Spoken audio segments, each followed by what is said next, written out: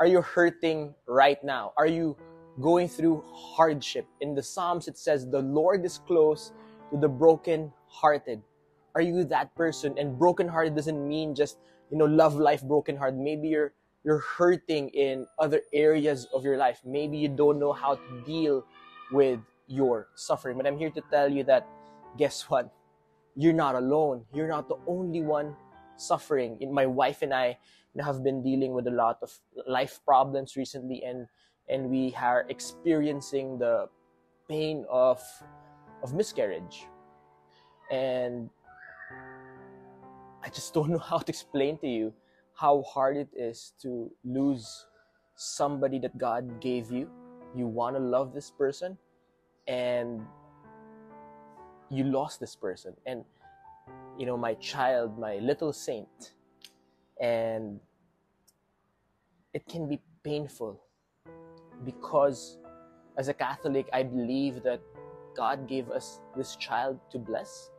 And as, you know, as our child was conceived through sperm and egg, you know, connection.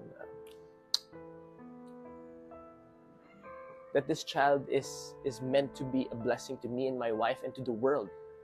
But we lost this child at an early time. We weren't able to hug this child. So I'm sorry if I'm mumbling because it's just sakit eh.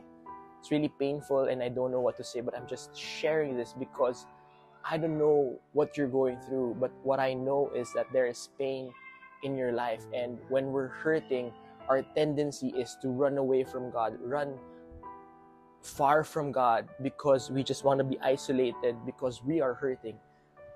But today, I just want to tell you that as you are hurting, God wants to be with you, God wants to love you, God wants to bless you. So if you're hurting today, I just want to whisper a prayer for you.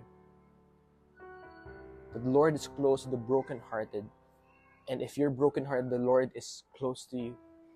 And then God wants to embrace you and, and love you and bless you and keep you and remove you from that painful situation.